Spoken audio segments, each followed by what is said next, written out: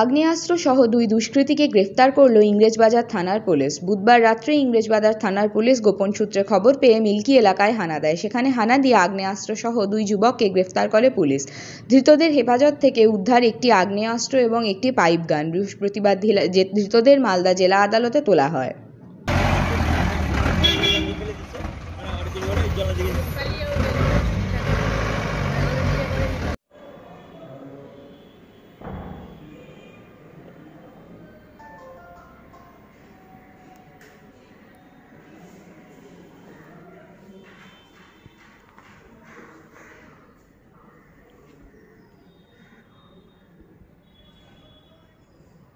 Thank you.